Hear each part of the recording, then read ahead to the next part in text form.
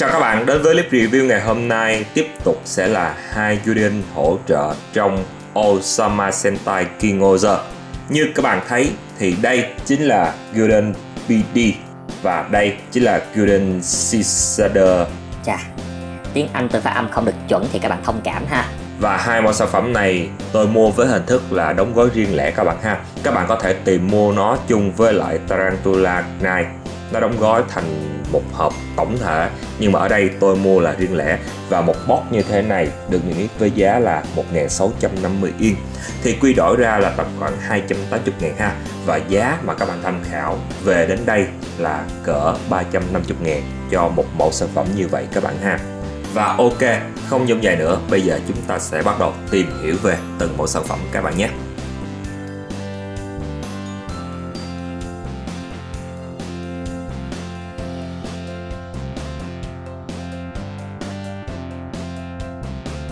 Trước tiên hết là Golden PD À, cái tên của nó đó, nó rất là cái kiểu nhạy cảm các bạn ha. Và đây là một cỗ máy phụ trợ được mô phỏng theo hình dáng là một con rít. Đây các bạn, rất là nhiều chân ha. Nó chỉ là một màu xanh nhựa và màu xám nhựa. Còn ở phần đầu của nó kiểu như là nó được sơn cái màu xanh khác ha. Cái kiểu như là do nó là màu sắc sơn á cho nên nó sẽ không được đồng màu lắm so với cái màu sắc nhựa xanh ở đằng sau thân của nó. Và hai cái phần càng cũng là được sơn. Nó chỉ như thế thôi và nó sẽ có cái khớp xoay chỗ này để hỗ trợ khi nó chuyển thành cái dạng vũ khí đó mà. Và ở đây cũng vậy.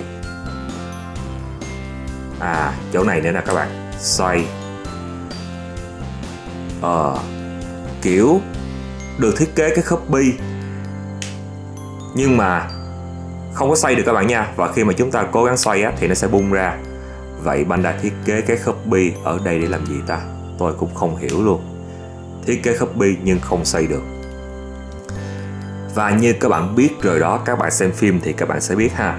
Nó sẽ trở thành BD trên sau tức là một lưỡi cưa ha. Thì thao tác cũng rất là đơn giản thôi các bạn. Đây mở lên như thế này. Và bẻ nó lại như vậy. Rồi, việc còn lại là gắn lên tay của Tarantula thôi các bạn.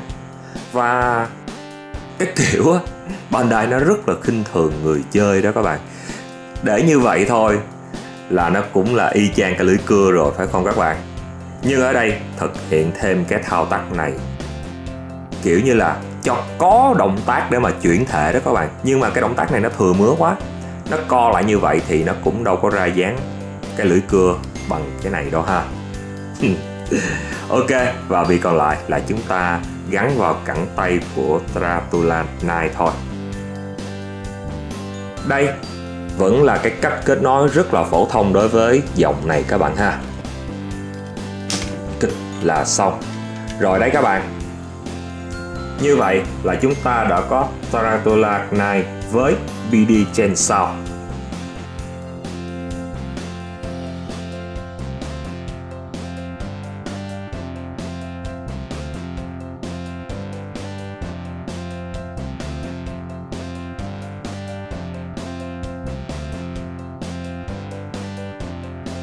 Tiếp theo là Golden Caesar Và âm thật là không chuẩn thì các bạn thật sự thông cảm giùm tôi nhé. Và đây là một cổng máy phụ trợ được mô phỏng theo hình dáng là con ve sầu. Và cảm nhận cá nhân của tôi á, thấy cái phong dáng con ve sầu này đẹp ha. Và màu xám nhựa, màu xanh. Chỗ này được sơn nè các bạn. Cái phần cánh của nó được sơn màu bạc rất là đẹp. Ừ tôi đã nghĩ hết cách để mà tôi khen nó rồi đó các bạn. Chứ nó chẳng có gì để mà nhận xét luôn á. Và nó sẽ trở thành Cicada black, kiểu là một lưỡi song dao các bạn ha. Hai lưỡi dao á. Thì, xoay nó như thế này nè các bạn. Và các bạn cẩn thận ha. Xoay cẩn thận thôi, vì nó sẽ rất dễ bị bung. Cái này là cái khớp bi nè. Nó rất dễ bung ra. Nó sẽ không sao cả, nhưng mà nó bung ra cảm giác khó chịu quá mà. Bên này cũng như thế. Mở ra và xoay lên và việc còn lại là gắn vào cái cẳng tay của Tarantula nai mà thôi. Rất là đơn giản. Còn đối với Cicada Blade nó sẽ gắn vào tay trái ha. Và để gắn vào cẳng tay trái, chúng ta buộc phải tách cái này ra. Và cho nó trở về vị trí ban đầu của nó đi ha.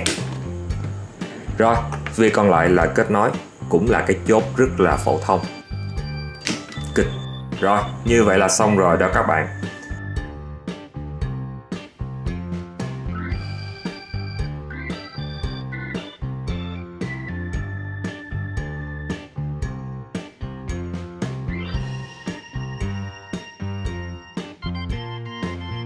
Đây là Tarantula Night với Tisera Black. Còn không thì chúng ta gắn luôn BD Chainsaw vào cẳng tay phải của nó.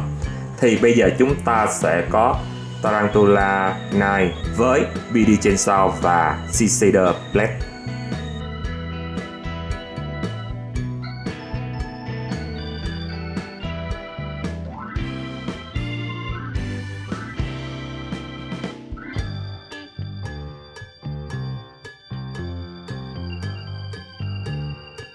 các bạn thấy nó như thế nào hai cái Guardian này á, cơ bản nó chỉ là dạng phụ trợ thôi ha nó trở thành một cái phần vũ khí. Nó giống như là Karakuribon của Hurricaneer vậy đó các bạn. Chẳng khác gì cả. Và không có gì nhận xét về cái cách thức lắp ráp hợp thể của nó ha. Tại vì nó cũng rất là đơn giản thôi. Kiểu xoay xoay một tí là thành cái phần lưỡi cưa và xoay có một chút là thành cái phần lưỡi dao như thế này và đính vào hai cẳng tay của nó thôi.